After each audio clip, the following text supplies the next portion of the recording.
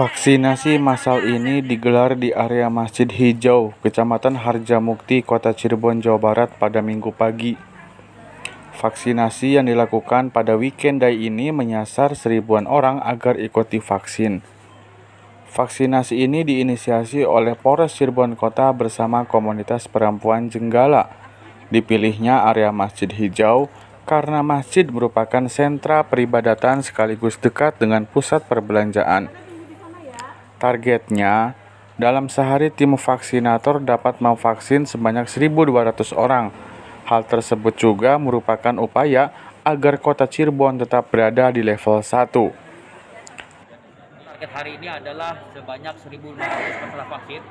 Jenis vaksin yang kita gunakan adalah vaksin Sinovac dan AstraZeneca. Insya Allah mudah-mudahan kita walaupun sudah memenuhi target vaksinasi untuk mencapai ke level 1, tetap kita tidak tidak akan berhenti, kita akan tetap melakukan kegiatan vaksinasi dan kami ucapkan juga terima kasih kepada perempuan Jegala yang telah sering membantu pihak-pihak terkait termasuk kepolisian untuk bisa melakukan percepatan vaksinasi.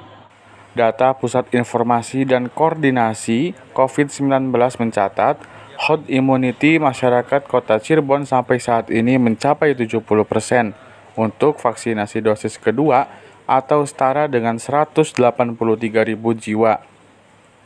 Sementara total vaksinasi dosis pertama telah menyentuh 97% persen atau 254.000 jiwa.